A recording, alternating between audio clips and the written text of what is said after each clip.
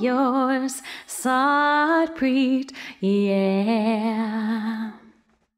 One happy birthday dot com.